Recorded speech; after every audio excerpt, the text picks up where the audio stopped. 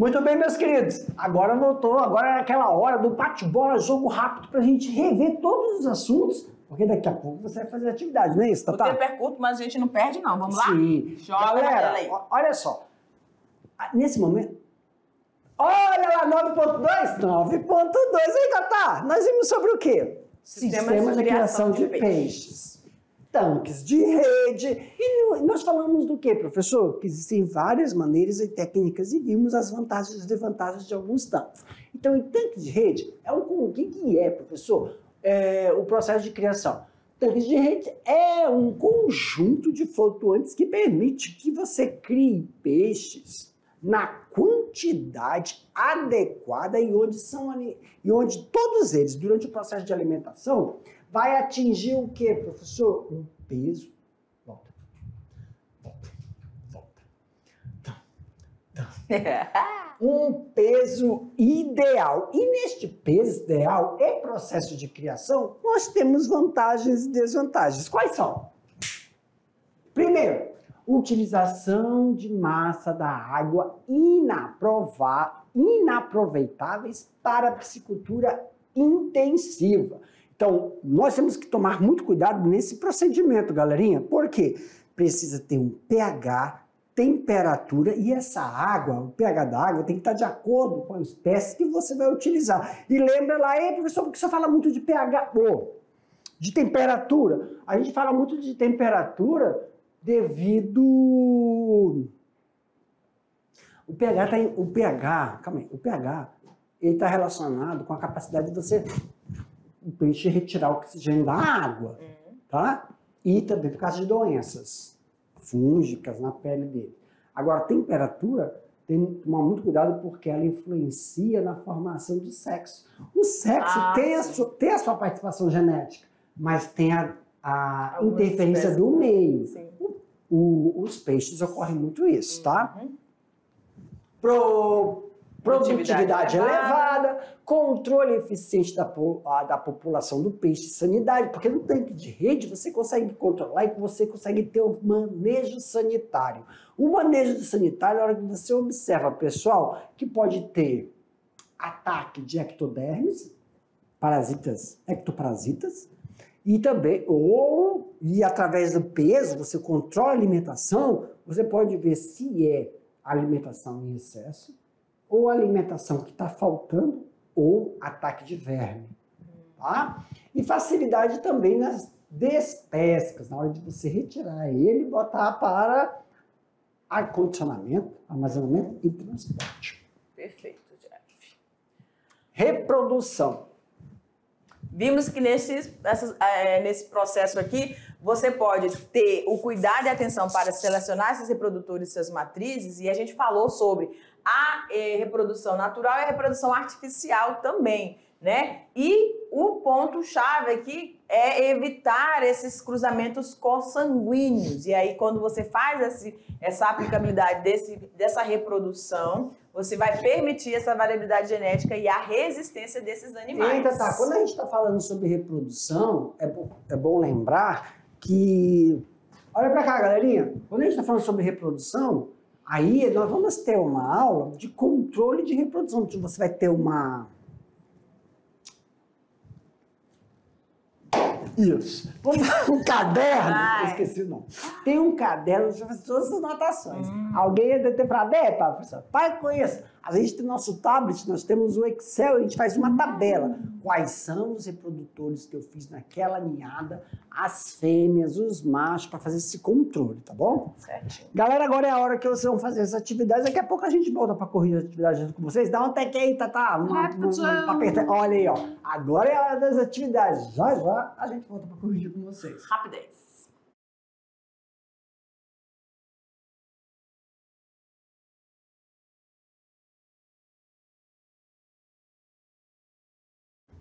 Olha aí! Ei, galerinha! Voltamos! Eita, tá! Hum.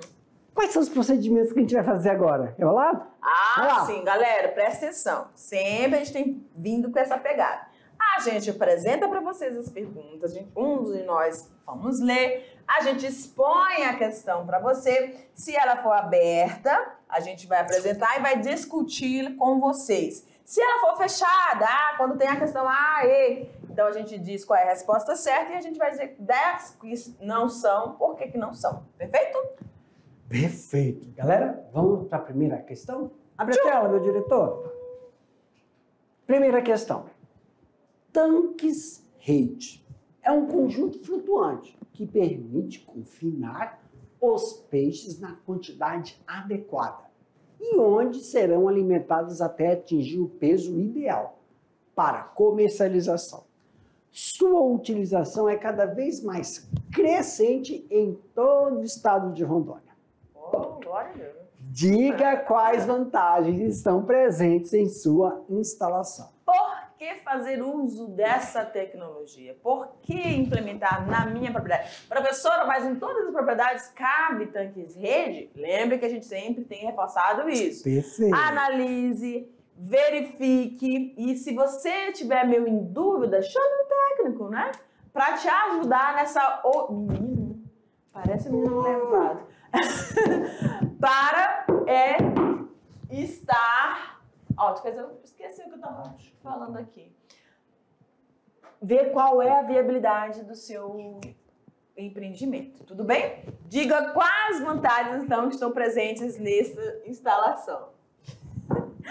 A. Utilização, ou um, utilização de massas de água aproveitadas para agricultura intensiva, produtividade elevada, você vai aumentar porque você vai ter maior cuidado na questão nutricional, na questão da sanidade, tá bom? Tá bom. E também a facilidade que esse sistema tem de você conseguir capturar ou pegar aqueles peixes e rapidamente fazer o transporte para o escoamento dessa Isso, onde você vai estar lá com um monte de caixa de isopor uhum. cheiro para você poder armazenar esse peixe durante o transporte. Perfeito. Vamos para dois.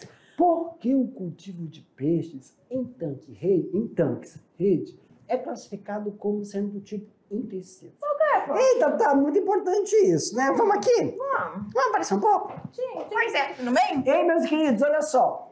Primeiro, né? A frase está falando aí para nós é, como é classificado esse tipo de produção, né? Produção intensiva. Quando é intensivo, um professor peixe, é só a gente lembrar do gado, é só a gente lembrar do carneiro, do cabrito, da vaca. Intensivo, o animal não vai ter como ir em busca do alimento. Não esqueça, ah, lembrei da biologia. Não é porque o peixe está na água que ele não tem todas as características de um animal que está na terra. Sim. Ele tem o seu local, dentro daquele habitat, ele tem o seu local de alimentação, o seu local de reprodução, o seu, o seu local de descanso. Então ele tem locais, como nós seres vivos. Apesar de ele estar ali naquela água, parece que não tem divisões, tem as suas divisões. Tem onde ele se reproduz, tem aonde ele se alimenta, tem aonde ele vai passear para dominar o lugar. Só que num sistema intensivo, que é um tipo de alteração artificial, você proporciona um ambiente que chegue próximo do natural, lembra? E dessa forma, você tem que fornecer todos os cuidados que ele teria se ele estivesse solto, que nós classificamos como manejo nutricional, manejo sanitário, sanitário manejo também reprodutivo. reprodutivo. Então, essas características são envolvidas dentro do sistema intensivo. Então, eu falei aqui um monte de coisa que pode estar dentro da resposta, por isso que é para lembrar. Não precisa estar idêntico. Aumenta a tela, meu diretor e Tabita, dá um clique. Eu, ah, mas era para mim aumentar, não quero não, você quer Aí, ó. Porra, olha, então vamos lá. Porque o cultivo de peixes em tanques rede é classificado como sendo tipo intensivo. Aqui, ó. Porque considera, considera o grau de tecnologia empregado. Alta densidade de peixe, quer dizer, o peixe ele vai suportar uma quantidade de peixes próximo a ele que não teria aberto. Uhum. Utiliza o manejo alimentar. Por quê? Porque ele não vai ficar andando através. Cá, quando ele está Tá. solto no rio, ele tem lugares específicos. Só que você tem que fornecer esse alimento. Feito obrigatoriamente com ração balanceada. Só que eu vou lembrar aqui, pessoal, que muitos produtores eles podem se utilizar da ração e antes de vender, eles retiram a ração antes de abater Sim, o peixe, é colocam frutos, né? importante. E que atenda às Para necessidades. aumentar a qualidade da palatabilidade da carne, né? Isso pá. Tem gente que come peixe, que peixe de sistema intensivo, preso lá tá gosto de barro. É. Nutricionais das espécies que estão sendo cultivadas. Top, top, top, top, top. Questão de número 3 diz o seguinte: as atividades relacionadas à piscicultura do Brasil se devem, entre outros fatores, à, no- Ah, é muito tempo. à nova alta capacidade hídrica. É só desacelerar, né? Ah, Desacelerar é difícil. né? Acho estranho, né? A gente prefere aquilo. Aponte, aponte algumas vantagens da piscicultura do Brasil. Quais seriam essas vantagens? Olha só. Tem produtividade elevada por área. Aí, pessoal, vamos, vamos, vamos discutir. O que, que é isso? Colocar de azulzinho, tá, prof? Ah, tá. Bota azul. Tem produtividade elevada por área. Isso é aquele negócio, pessoal, que nós vamos, quando a gente for falar de, de boi. Não precisa desmatar. Não precisa, então, abrir buracos. Você consegue aumentar a produtividade em um mesmo espaço. Entendeu? Ah, professor, eu achava, por exemplo, eu, eu tinha duas, uma tonelada de peixe por ano. Ou por. Por. Eu vou falar por cultivo. Hum. Né? Hum. Eu quero aumentar para uma tonelada e meia. Eu vou ter que abrir mais área? Não, você consegue produzir maior quantidade. É óbvio, né? Dependendo da espécie que você está produzindo. É, por causa da densidade. A gente está conseguindo criar peixe em menor tempo e aumentando a viabilidade dele. É por isso que a gente fala assim, ter produtividade elevada por área. Nós sempre, sempre tem que lembrar para vocês aqui, ai, tem que lembrar que é letivo. Por quê? Não é, não é diferente. Criação aumenta, quebra mesmo. Aqui não. Por exemplo, hoje, vou tentar fazer um, como é que fala? É, paralelo. um paralelo. Ele vai gesticulando, eu tenho que É, por exemplo, desenrolar aqui. tá, tá. Professor, me dá um exemplo de eu vou, eu vou conseguir, professor, aumentar minha produtividade na horticultura sem abrir lugar para eu plantar? É. Como é que eu vou aumentar a produção de alface se eu tenho que abrir área Hum. para aumentar a minha horta? Aí vem a hidroponia, tá? tá? A hidroponia feita naqueles canos é elevada. Tá entendendo? E a piscicultura, professor, com o mesmo. Por exemplo, eu tenho três tanques de. Três tanques, vamos lá, de. Cento, cento, é, três tanques de 5 metros por 7. Aí eu tenho três desses. Eu quero, eu quero aumentar minha produtividade. Eu não vou ter que fazer mais tanque, professor? Não. Você pode pegar e fazer, não tanque, você fazer tanque de rede. E o tanque de rede, você aproveita lá o afluente. É. Aí você aumenta a quantidade de peixe por ano. A gente vai ver essas características. Utilizar pouca mão de obra. Ah, sim. Isso é através da tecnologia, tá, tá? A utilização de mão de obra. Só que aí você tem um investimento maior. Quem vai dizer qual das duas você vai colocar é a sua capacidade de investir, Sim. tá? É uma atividade promissora para suprir a demanda alimentar, Alimentar. da família como Ah, de... Isso, e outra coisa, pessoal, para a gente atualizar aí também, não, e não só a atividade promissora de demanda alimentar, mas também tem a de- demanda. O que eu estou querendo dizer essa demanda aqui, galerinha? Fazer assim. Inclui o que é aqui dentro? Alimentação, fonte proteica, Uhum. farmacológica, Sim. porque do peixe se tira muita- muitos produtos, como o ômega 3 e oleaginosos, que é para na, na farmacologia se trata como da saúde e também cosméticos. Tem mercado consumidor crescente, né? E isso precisa muito de um processo de industrialização.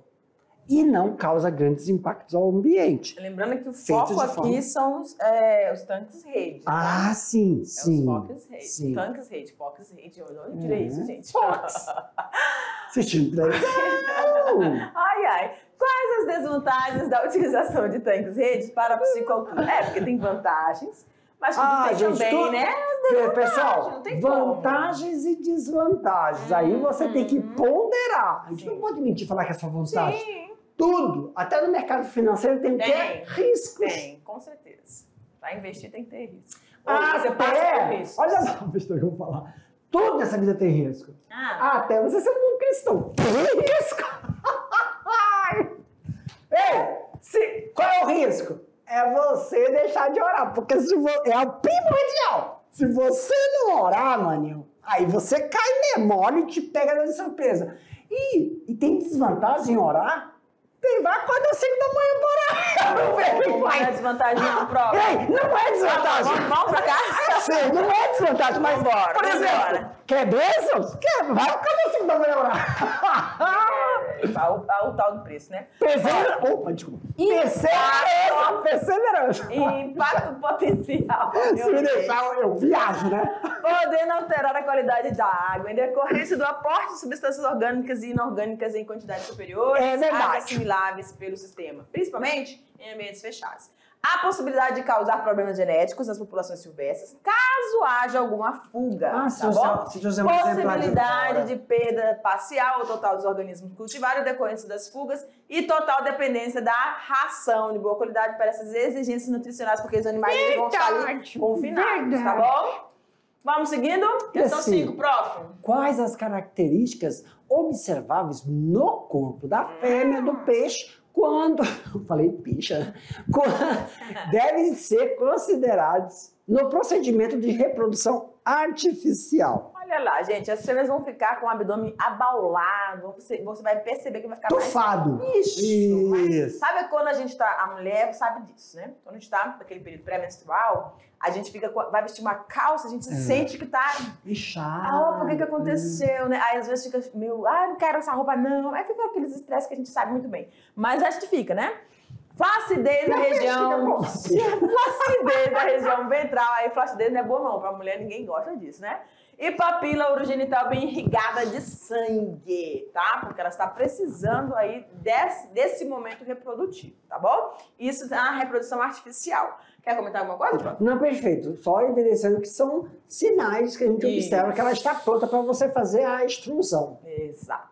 No processo natural de reprodução, é necessário selecionar é, espécies cuja tecnologia de reprodução induzida já é do- dominada, a fim de garantir a oferta regular desses alevinos. Quais são os problemas, então, enfrentados pelos animais nas fases de larvicultura e la- alevigina-? Alevinagem.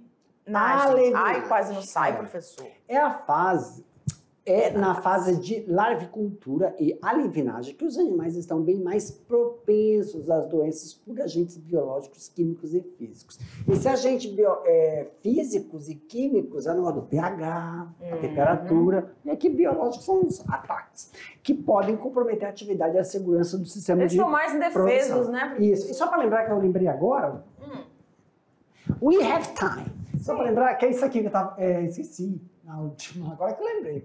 É, larvicultura, larvicultura,